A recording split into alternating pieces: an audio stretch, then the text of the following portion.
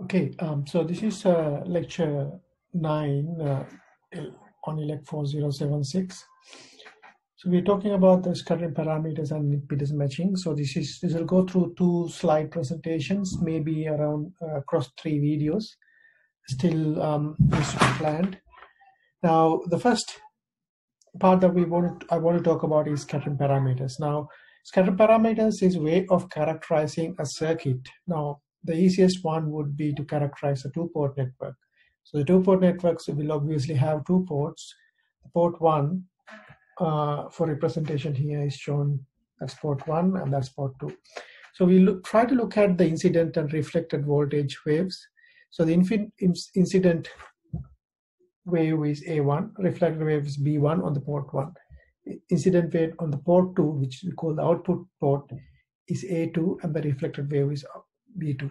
Now, if there's a way for us to you know find out the reflected values B1 and B2, so in terms of A1 and A2 incident values. So the scattering parameter matrix, which sort of characterizes what happens inside here, basically tells you if you know your scattering parameters this matrix, and if you know your incident signals, you can calculate your reflected signals. The same way, if you know your scattering parameters and your reflected signals, you can calculate your incident signal. So scatter parameters basically is independent. Uh, so it is actually frequency dependent. Um, depending for each frequency point, you'll have a certain set of scatter parameters for RF circuit. Now, when you know that, so if you know the reflection coefficients or transmission coefficient, which is defined in here as scatter parameters, as long as you know the amplitude of the signals coming in, you can calculate the reflected signals, then you can calculate the power transfers, everything. So that's the beauty of the scatter parameters. And it is, um, so we, we try to, so the, the scatter parameters here will, for a two port networks have two, uh, four terms, S11, S12, S21, S22. Now based on your row number, this is S11 and that's 1, 2 and 1, 2. So for S, S matrix, a two-port matrix, that's a row number and that's the column number. So the first element here is S11, the second element here is S12, the third element here is S second row, first column, second row, second column. Now S11, S212, S21, S22 has their certain access, a few certain names. Now S11 is called the input reflection coefficient because it is talking about the incident signal on the port 1 to the reflected signal on the port 1. Now, okay, let's let's let's try to uh, simplify this a little bit. Uh, so now from here, if you do the matrix algebra, you can get the first element b1 equals s11 a1 plus s12 a2 okay. Now if in this case if a2 is zero that means that signal that comes from the output port to the circuit is zero. That means no amplitude at all. This gets simplified to b1 equals S11 A1. Therefore, S11 can be written as B1 over A1. That means the reflected signal to the incident signal when A2 equals 0. Okay, so we can actually calculate or the S11 of a given circuit, if you make sure the incident signal on the port 2 is zero, and then we measure the input signal A1 and the reflected signal B1, and then we get the ratio of that, and that is the S11 of this circuit. We call this, because it's an input related, it's a port 1 related, and it's talking about the reflection, we call this input reflection coefficient. So S11 is also called the input reflection coefficient. The same way, if you look at, you can you can also characterize S12, S21, and S22. Now, I won't go into that algebra. I'll just leave it for you guys to figure this out, but it's quite straightforward. Simply, you have to find, like, you know, if you want to make s1 2 you need to make A1 equals zero. So that's why A1 is zero. And then simply it becomes s1 2 equals B1 or A2. So this is the reflection on port one, reflection on port one. When there's a signal on port two, input signal on port 2. So likewise, we try to find each of these parameters in a circuit. For a two-port network, we find try to find S11, S12, S21, S22. So basically S, I, and J. Now in this case, I and J, I maximum is 2, I max is 2, J max is 2 for a two-port network. So the S11 is called the input reflection coefficient. S12 is called the reverse transmission coefficient.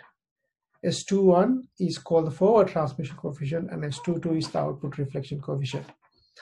Now when you think through this, it makes sense why the names were given. S21 basically says from port 1 to port 2, look at the signal. So when you have a port 1, A1 input signal, what is the signal that comes out from port 2?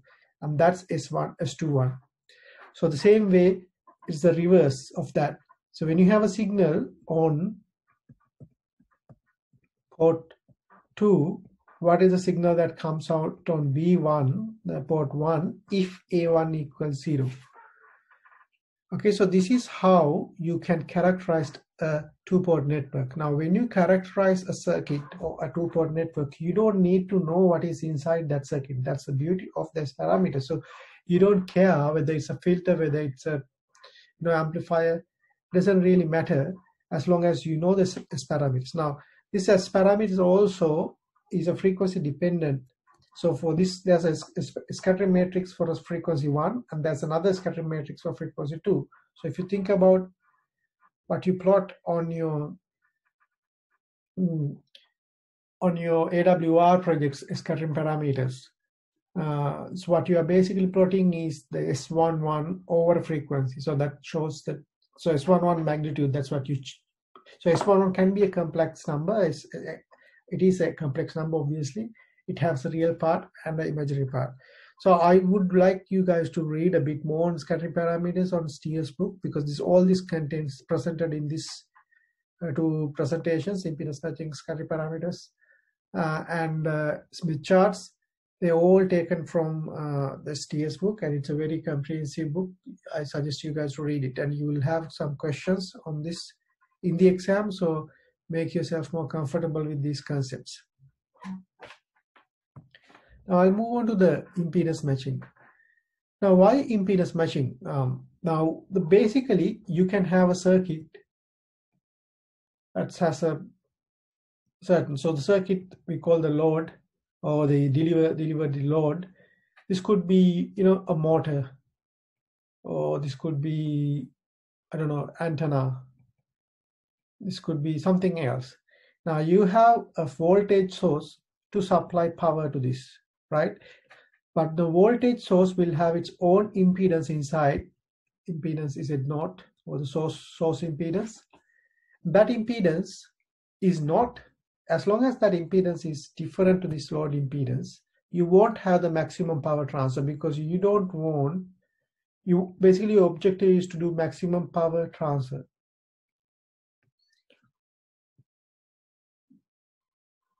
So if you want to do maximum power transfer, if you remember from your basic electronics theory courses, you will you had a requirement called for a maximum power transfer, you need to have the source impedance equal to the so you need to have the load impedance equal to the source impedance, which is RL equals RS.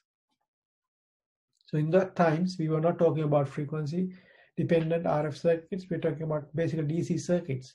So you had a plus minus voltage source and the source had a resistance of Rs and then you have a RL load then if your Rs equals RL you get the maximum voltage you get pretty much V over 2 here because that's two equal voltages and then your V squared over R is your total power. So your maximum power is V squared over 4R load.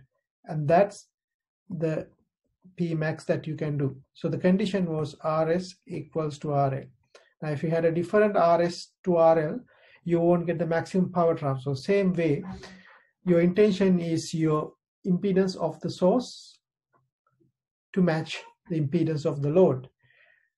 Now the difference in this course is that these loads are not just pure pure pure resistances. They can be they are impedances. They can have a real part and an imaginary part. So the real part of the load is a resistance, load resistance, and the reactance. So you need to make sure that your load matches your impedance of sorry your source matches the impedance of your load. So once you do that, you can have a maximum power transfer. Now, how do you make sure that you need to create a matching circuit in between similar to that? So matching circuit will transform this impedance to an impedance here that load prefers to have the maximum power transfer. For example, the theory is that when you transfer this Z naught to here, looking at the load, looking at the source side, you should see Z load conjugate. And if you see Z load conjugate looking towards the source, if the load sees the conjugate of the impedance of the load, then you can get the maximum power transfer. Now, why is that? Because say the Z load, the load in, uh, impedance equals RL plus JXL, right? So that's the real part and that's the imaginary part. Now say that we have to mesh the resistances. So from your basic theory, you know that your source resistance has to be the equal to the load resistance. Now the condition is in this interface, here it's RL plus JXL.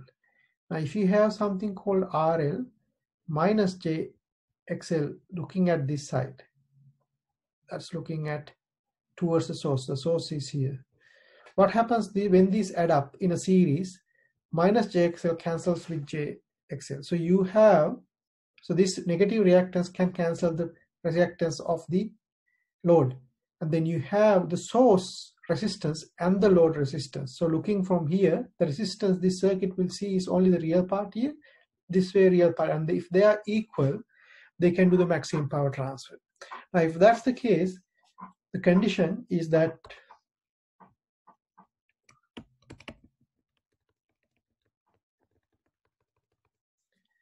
that is said the conjugate, so looking at the source side, the load should see load is a load conjugate, right? So the matching network, if you if your intention is to transfer the maximum power, you should make sure the Z naught when it comes here is Z naught equals Z load conjugate. Um, so not is it not here? I'm saying is it not looking into here? So maybe let's say the impedance here is Z1, and then Z1 should be Z load conjugate. So the matching ne networks obviously improves the signal to noise ratio because you get more signal through. And the matching network also only possible when real when there's a real part in the load because if you don't have a real part, if it's purely imaginary, it's a reactive load. So you can't get a maximum power transfer because you can't. That means your source impedance has to be zero too, right? So you can only do, have a matching network when you have a impedance, when you have a real impedance in the load. Now there are different types of uh, matching networks. So start with the lumped element matching. So the lumped element matching is very well preferred for the lower frequencies. So it's pre pretty much the, you know, the inductors and then the capacitors that you see. So the lumped element matching. Now they are preferred in the lower frequencies up to a certain gigahertz. So even if your handsets will have the lumped elements. Now the disadvantages, oh, basically let's talk about the advantages of lumped element matching. They are comparatively smaller in size now compared to its counterpart distributed elements. Distributed elements are basically your microstrip line elements. So that means transmission line component. So for inductor, you might have a spiral then, like that. And then for a capacitor, you have a two plate capacitor. No, that's actually the proper capacitor, but you may have a capacitor like a stub, microstrip line stub. stub. Now, the disadvantage of using distributed elements at lower frequencies is that they tend to be bigger in size for lower frequencies. If you remember previous discussions from the lectures, we talked about this, um, you know, we compared to wavelengths at lower frequencies, distributed elements tends to be much significantly bigger in size. So it's difficult to use the distributed element matching at lower frequencies. So we tend to use lumped element. But the lumped elements can be, you know, in terms of disadvantages for lumped elements can be lossy at higher frequencies and their inductive and capacitive effects come into play. For a distributed elements, now at higher frequencies more preferred because they are low lossy because and the size wise they are comparable and they can be implemented in your circuits. Now even if you in your projects that you using in KU band or KA band, it's much preferred to use distributed elements. Now, distributed elements other advantage is they can handle high power. Uh, the so if we use if you want to have a high power application at lower frequencies, we tend to use distributed elements regardless of the size disadvantage. Now, other than that, that you tend to sometimes use hybrid techniques where you can, you know, have a lambda and a distributed mix and ad hoc matching networks methods as well. Um, so I suggest you guys to read about different types of matching networks again in uh, Steer's book or some other books as well.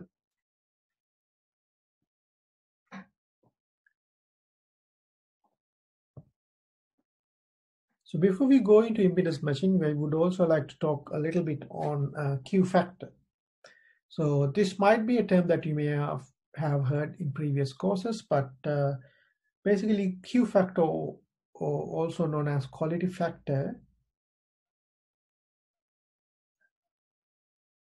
basically tells you um, so it, it is a way of characterizing a loss of lumped inductors and capacitors because each inductor will have a certain level of loss because of the series resistance. Now, for example, now here you have an inductor, but ideal inductors will not have a resistance. So, but in real life, you have a resistance. Because of the resistance, you have a certain loss.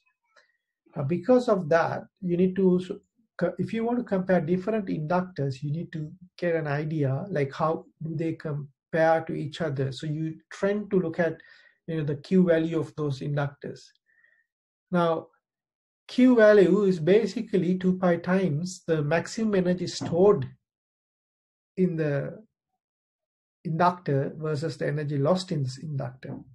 Now for, for, if, if for an inductor, so Q inductor would be omega oil or R. So the inductors, inductance in a inductor will store the energy and resistance will actually dissipate the energy. So it's the, that's the lost so omega is basically 2 pi f for frequency. So this is the Q of an inductor. Now similarly for a capacitor we can also define a Q factor and it is given by QC over G. Now G is the conductance and C is the capacitance. Each capacitor will have a conductance associated with it, with it between the plates and the, because of the dielectric material used in there now, as a result, that will also be lossy. Now, you also notice the Q, depending, so if R is quite smaller for inductor, say it tends to go to zero, you can imagine the Q factor will actually rise if the other factors are constant. So the Q can be quite high for a very low loss inductor. You'll also notice the Q value of an inductor is also dependent on omega, that is the frequency of use. So as you increase your, so it's, it's, it's basically um, a varying value depending on your frequency. However, for a capacitor, it is not really a varying value. It's almost constant, the Q factor, because with omega, G changes as well. The conductance is also increasing with the frequency. So they tend to cancel out the effect. So the Q of a capacitor is almost constant, but for an inductor, it is very frequency dependent. Now, we were trying to basically look at the loss of an inductor, but Q also refers in a way translate to a bandwidth. Now, the bandwidth, now for example, this is the, say this is the maximum power that is transferred through a circuit. Now, we, we define a circuit Q value, the quality factor of that circuit as, so if you have at a particular frequency, you have maximum power and you look at the minus 3 dB values on the left hand right, and we define your bandwidth of this is the maximum power transfer that you can have. And that also can so that delta f is your bandwidth from here to here. And fr is basically in this case f naught is the resonance frequency so you notice that q is defined as fr the resonant frequency divided by the bandwidth. So if you have a smaller bandwidth you tend to have higher q. So if you have low loss inductors in circuits and then you tend to have higher q. So that means you're purely imaginary, purely actually uh, the, the most ideal inductors tend to be very low um, lossy and they tend to be less bandwidth as well. So that's uh, just an insight because we will be using this Q factor in the next couple of slides. So maybe in the when we try to match, uh, come up with a circuit, uh, impedance matching circuit.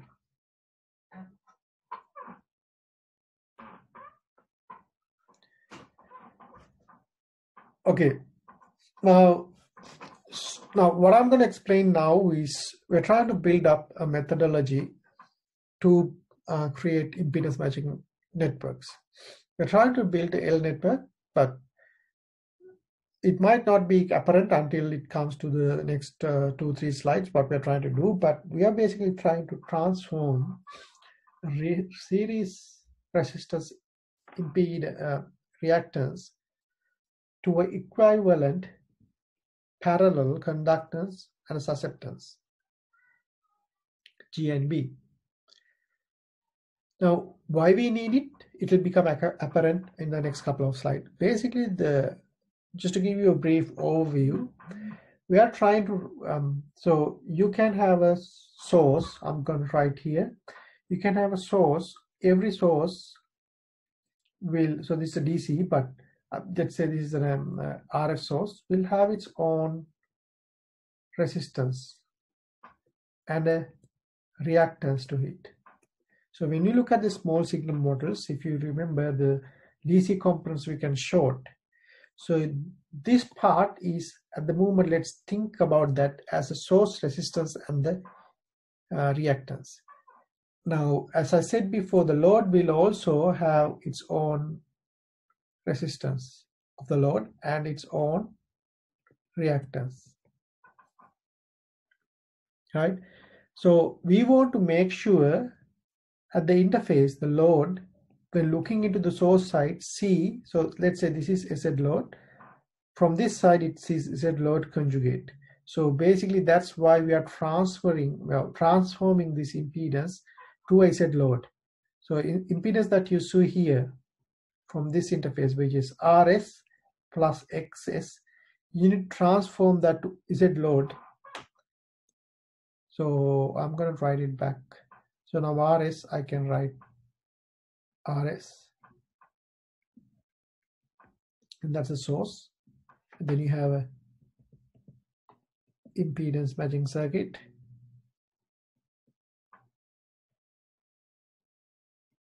and then you have the load which has a XL RL. So looking here, it says Z load. Now at this interface, if it can see Z load conjugate, the imaginary parts cancels out. So the part, the function of the impedance matching circuit is basically transform this Z input, which is RS plus XX to Z load conjugate, which is so RS plus X JXS should be transformed into RL minus JXL out of out from this impedance matching circuit. So that's the intention.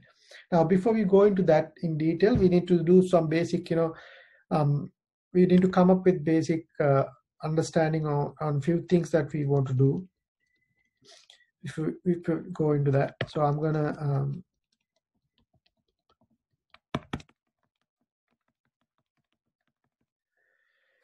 um, take you through uh, some basic steps first.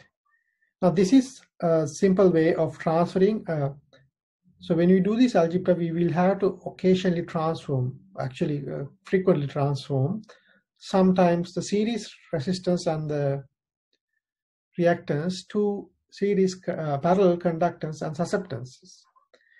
For example, now this circuit can be equivalent represented by a series circuit can be equivalent represented by a parallel circuit here.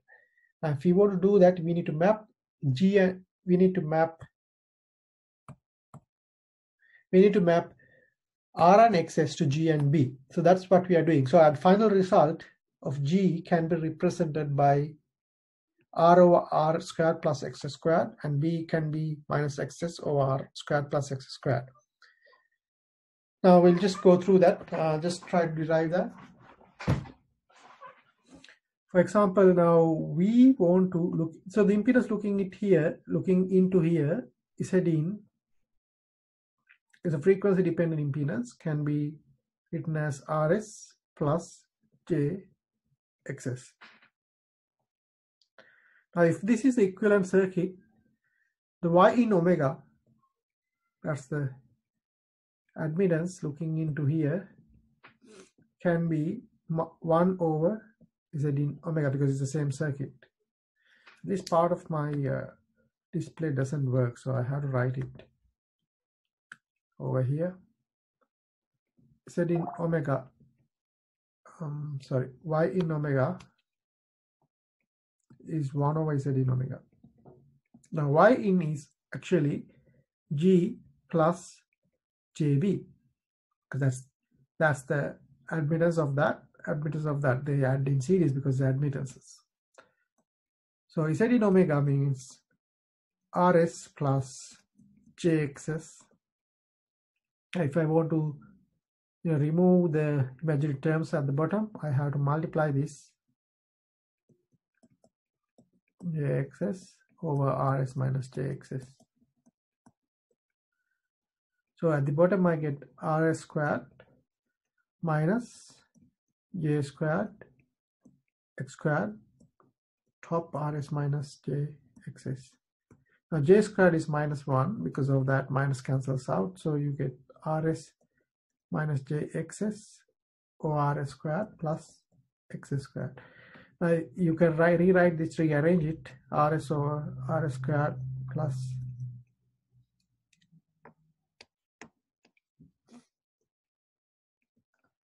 minus xs over r squared plus times j. So g plus jb, that means g is is pretty much the real part of it, which is g, and that's what is shown here. Same thing.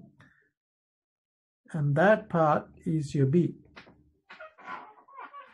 So we are pretty much mapping the series resistance and the reactance to a parallel conductance and a susceptance. So that's just a transformation that I've shown here before. So we can transform them like that. Now you also notice if you look at the so if we what if we represent so this is a conductance so any conductance is the reciprocal of the resistance of here. So if we have a resistance here, RP, we can say it's 1 over G, right? So that means G is RS squared plus XS squared over RS. And you'll notice that, so the RS here, when I said RS is pretty much that I notice it as RS. This is greater than RS because if you take RS plus XS over RS squared, so it's always greater than RS. So when you transform that G, the conductance or the inverse of G, the resistance of that load in parallel circuit, R parallel here, is always greater than the resistance that, that you had originally. So that's something you need to remember. So this RP is greater than, so R parallel is greater than the resistance or your resistance.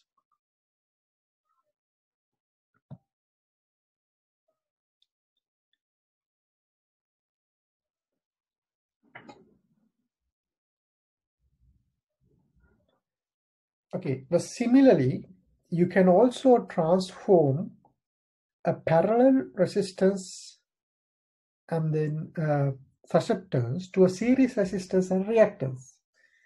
Now, I won't go into detail. I would actually want you guys to do it because it's a similar uh, technique to show how it's done. But at the end of the day, you will end up with RS, this the series resistance based on the original resistor and the susceptance values, your series resistance is shown as R over 1 plus B squared R squared. And the series reactance in terms of the original R and B values is given by that. But what you should notice is the series resistance here is smaller than the original resistance because this term is larger than R. So because of that, uh, the series resistance is smaller than the, the original resistance. Now, how does this help us? Uh, so what we are trying to do, for example, if you have a series resistance, so for example, there's a source, then you have series resistance and the series reactance. And then, then you have a load which has a series load and then XL For, for, for at this stage, we ignore the load, just say the load is pure resistive. Now, if I want to transform, I want to have an impedance matching network in between. So what I'm trying to do is transform this. So looking at here, Z load, looking this way, Z load should be conjugate to be the best, you know. So for example, in this this setup, if it's hard for me to do that because um, so I, I I have a reactive component, so I, I just don't I just want to get it get rid of that. Now, what if I can cancel this reactance? So what happens if I transform this to a parallel circuit? Let's look at that. When I transform this to a parallel circuit, I will get uh, a RP value, equivalent RP value or G value. And then I also will get some sort of a conductance value, G. Right? Now, if I can have another circuit the rea so if this is a this is a capacitor we can have an inductor to cancel out this reactive component and say that r load and rp if they are equal say rp equals rl then you can get the maximum power transfer. So i'm going to repeat this again. I'll probably write it a bit more clearly so to get it um, because this is very important this part understanding the concept. So we have a source, voltage source, and that will have its own R source.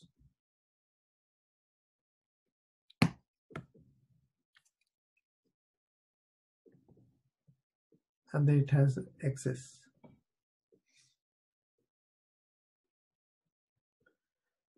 And then looking in here, that's the input impedance or source impedance. Then we have a matching circuit. Then this side we have um, load impedance and the reactive part of it. Here Z load. So to maximum power transfer, looking into the source, it has to be Z load conjugate. So whatever this matching circuit, what it presents should be RL minus JXL. So that cancels out with RL plus JXL.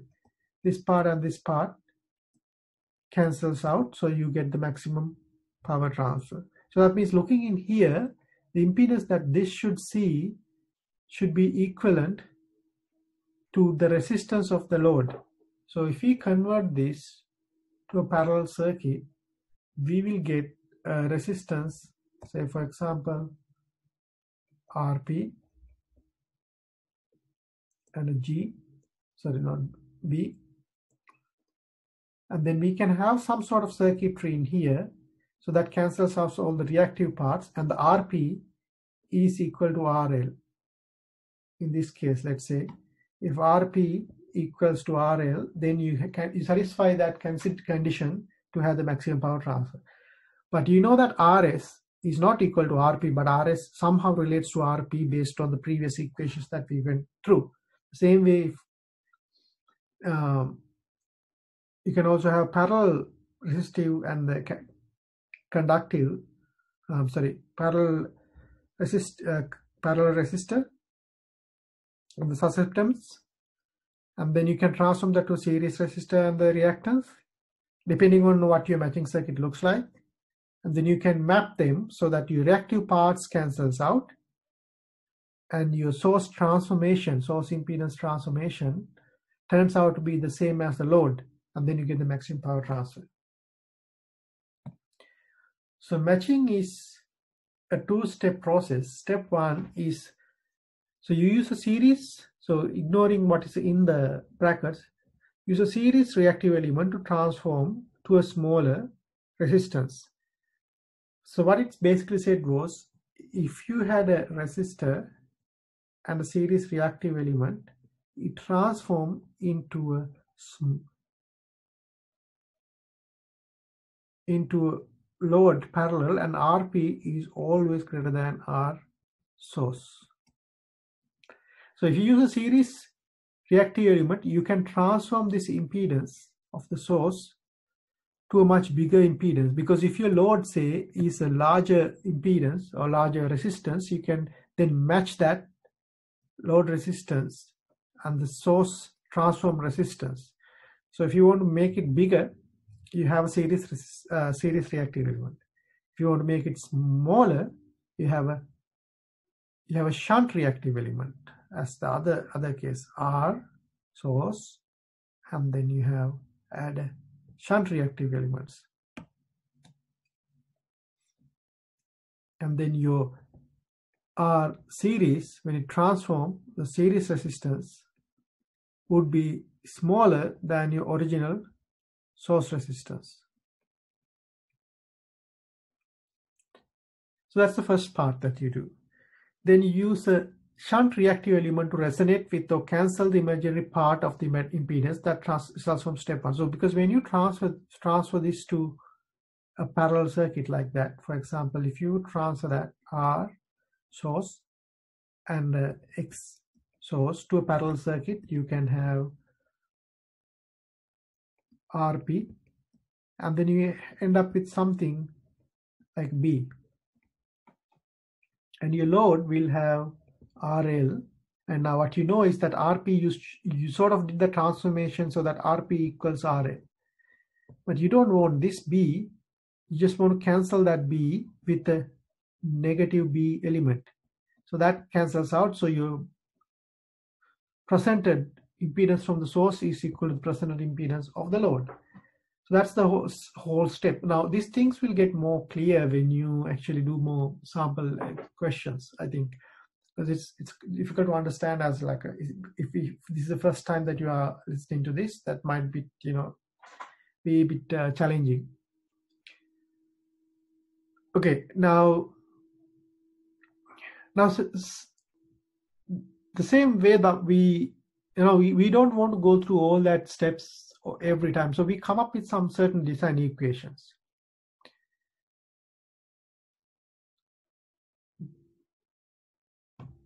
so what we are trying to get is we divide this into two segments. This is the source part and that's the load part. Okay.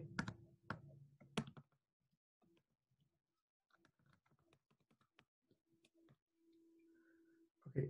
Now I want to look at the impedance looking into the load. So impedance looking into the load is pretty much given by because these are two parallel circuits one reactance and the resistance. It's given by this formula. So it's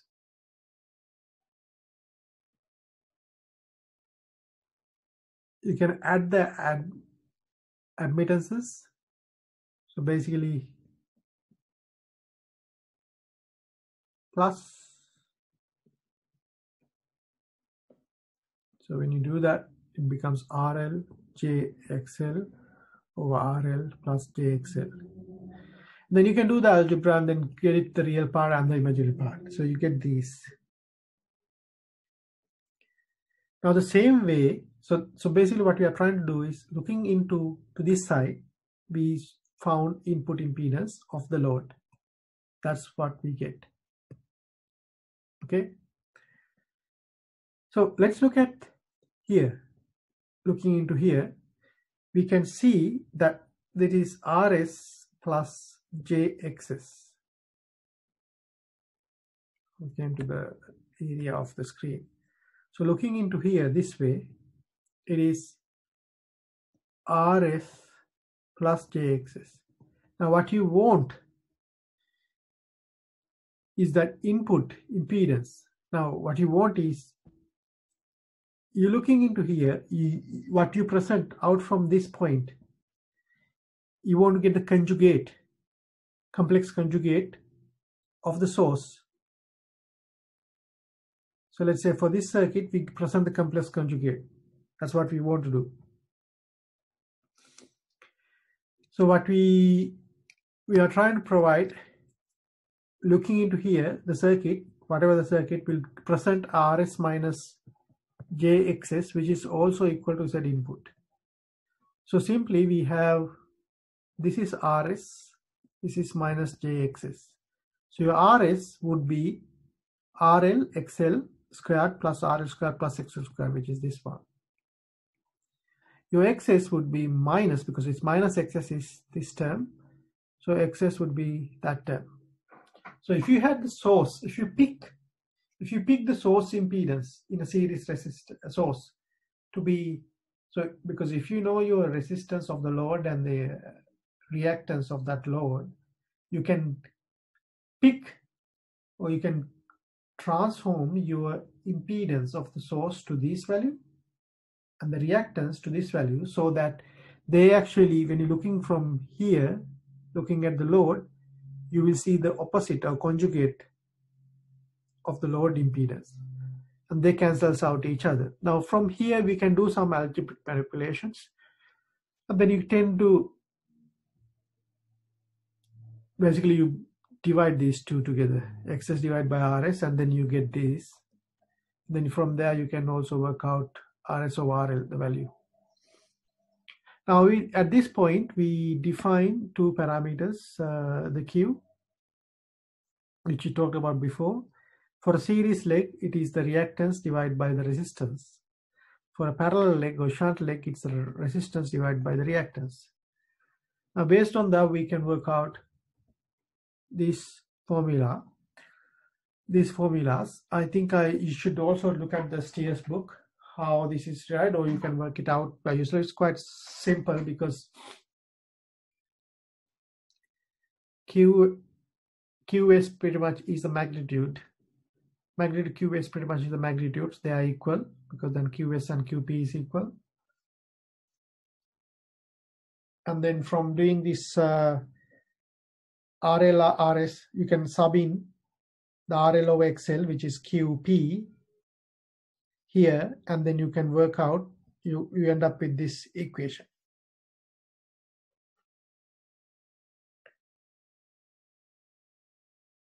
So if you, if you want to quickly do that, uh, just for clarity here, so RL of XL is QP, right? So you can sub in here. RS of RL equals 1 over QP squared plus 1. And then from here, QP squared plus 1 is RL of RS. And then QP squared is RL over RS minus 1. And then you get the square root, so you get QP. And QP magnitude is same as QS magnitude. Now, why we're doing that will become apparent in a while. So the same way we did that, we can work out, you know, generally few equations. Now, if this is the load, so basically what we are trying to do is we're trying to find out a matching circuit when you know the source impedance and the load impedance. Now for in this case, we treat load impedance as purely resistive, source impedance as pure resistive. So based on the values, we this is the matching networks that we can pick. Now there are four types of matching networks. These are called L-type matching networks. They are very narrow band, but that's okay as a start. There's a few design formulas that you can use. Now you notice there's a few conditions that you have to satisfy. These two conditions is when source resistance is smaller than the load resistance, which relates to our very first transformation where we did the series where we had a RS and a XS and then we transformed them to a parallel RP and a B value. So we, we also noticed that the RP was greater than RS. The same thing it's saying. The load here is larger than, so these two goes in hand to hand but the matching network is slightly different. Here they have a capacitor inductor, they have a capacitor here.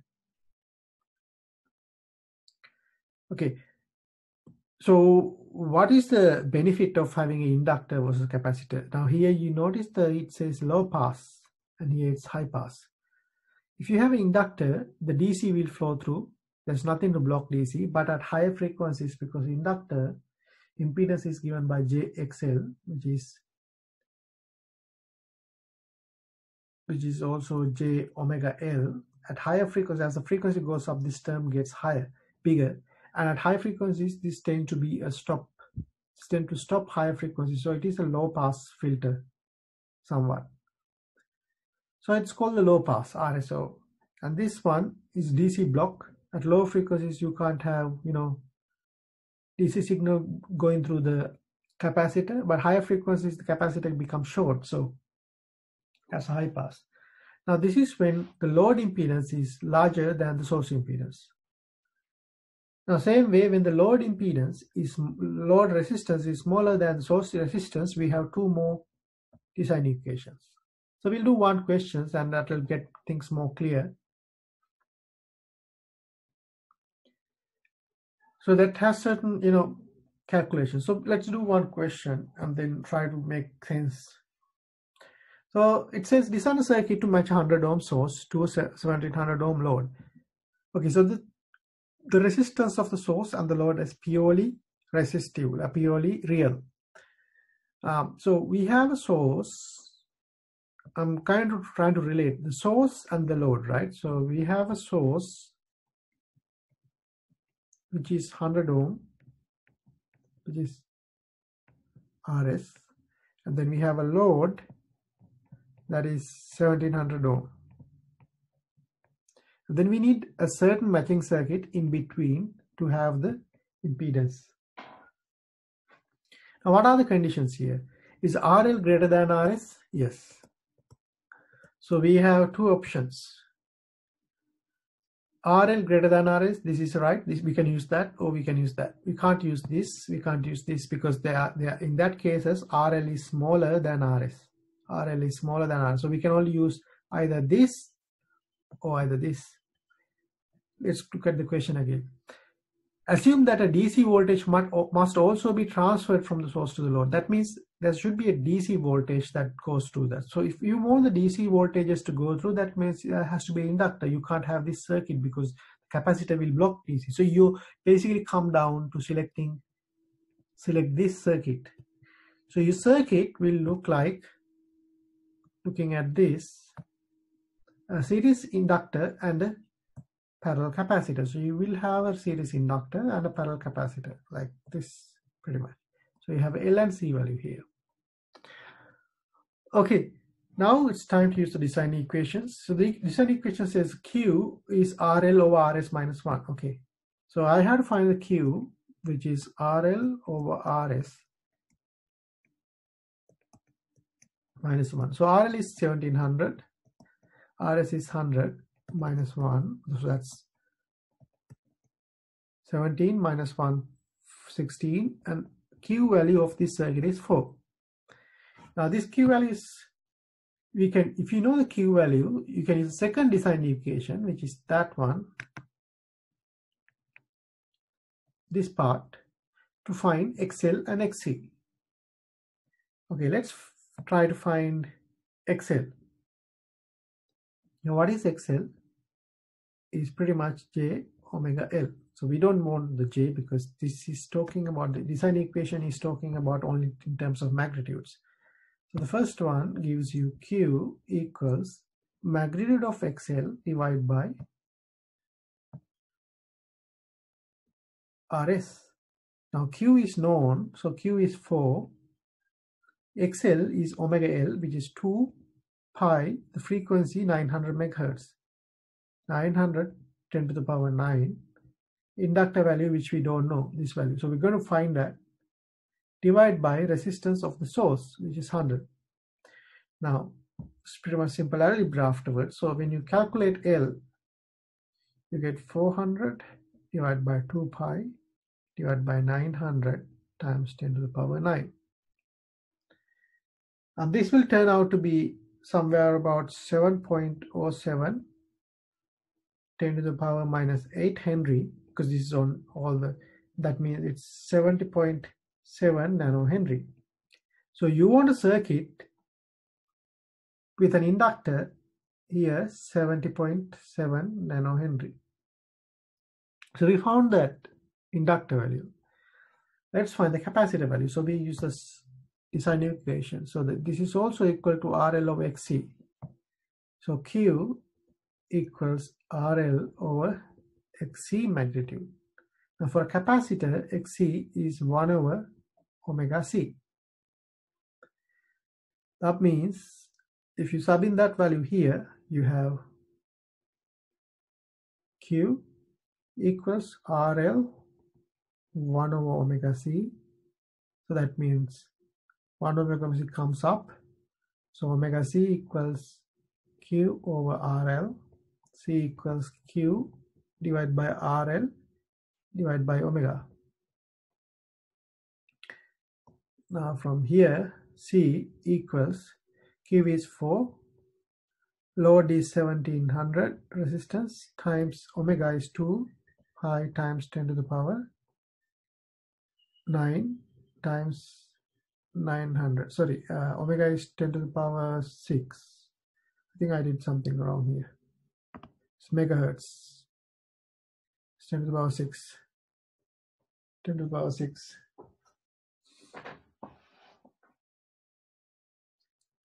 so that you'll get an answer somewhere around 0.416 picofarad so the capacitor, then what you need is 0.416 picofarad. Now it's, it's not that hard to find it. So basically you found the matching circuit. So you have a source,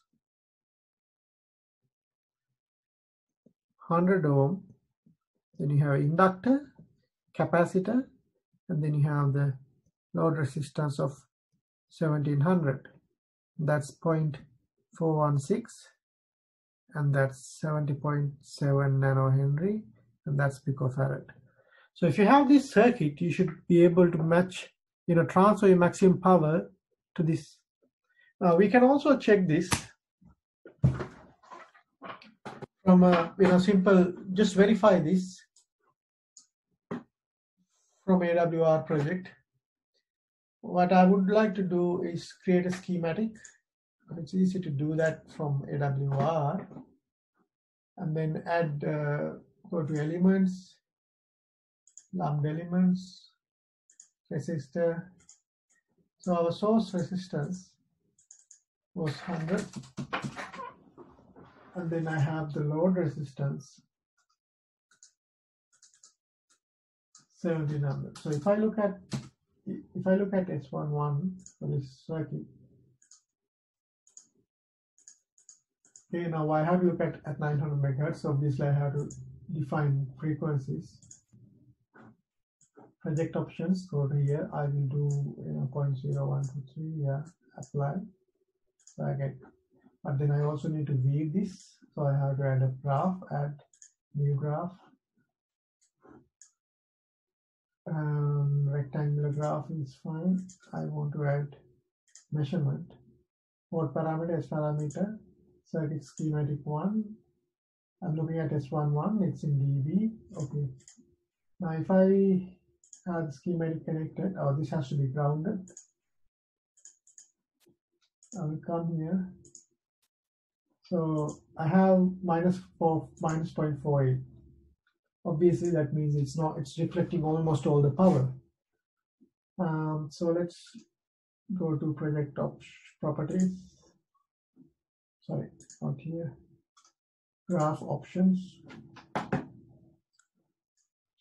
Left axis I will do minimum minus 15 maximum 5 so you notice that uh, we would like to you know have us at 900 megahertz at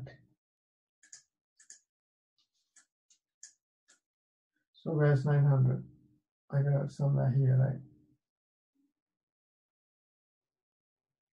yeah.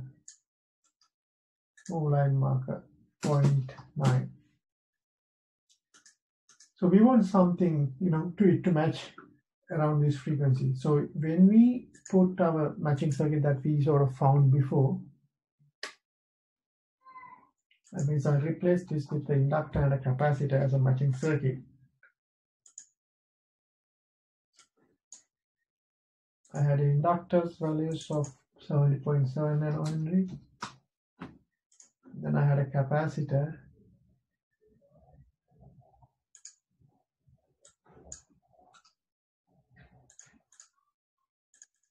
Value of 0.416 picofarad. 0.416 picofarad. And then this capacitor is also grounded. And then let's try that. So you notice that it's actually trying to match it, right? So that at that frequency it has very minimal. I mean, it's not obviously perfect, but it's, it's doing, it's, it's getting better. So it theory works. And it so the bandwidth wise, you notice that's not that wide band. It's only you know it covers a certain frequency band a little bit. But that's that's basically we derive these values theoretically calculating. And that's how we use the design formulas. I think that will make it clear um, for you guys like how to use design formula. Now for example if the same uh, if you had to you know give this the other way 1700 here and 100 here. You, you'll have to pick what design equation to use. You will have one of these circuits picked, either this or that. Depending on how they say, if they want it to be, you know, DC pass, you will pick this design equation because in this case, RS is greater than RL and then you want the DC to pass. Okay, obviously you pick, pick this. You first calculate your First step, calculate your Q. Then second step, you based on that Q, you find your XL, and that means you find your L. Then you find your XC, that means you find your C. So simply you have a matching circuit defined pretty much for your circuit. Okay, so that's all we want to talk today. Uh, and uh, and I'll talk about a little bit more on matching in the next video, but I think that should be enough for today. Thanks.